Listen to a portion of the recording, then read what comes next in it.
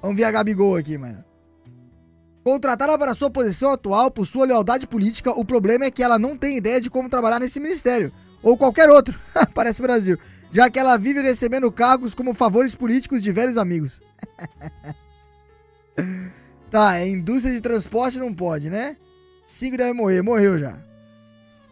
Ah, botei viveu! É que eu queria testar.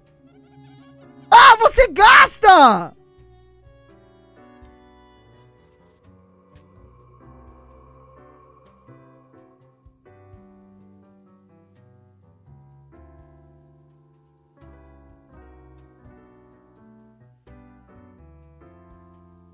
Mano, não.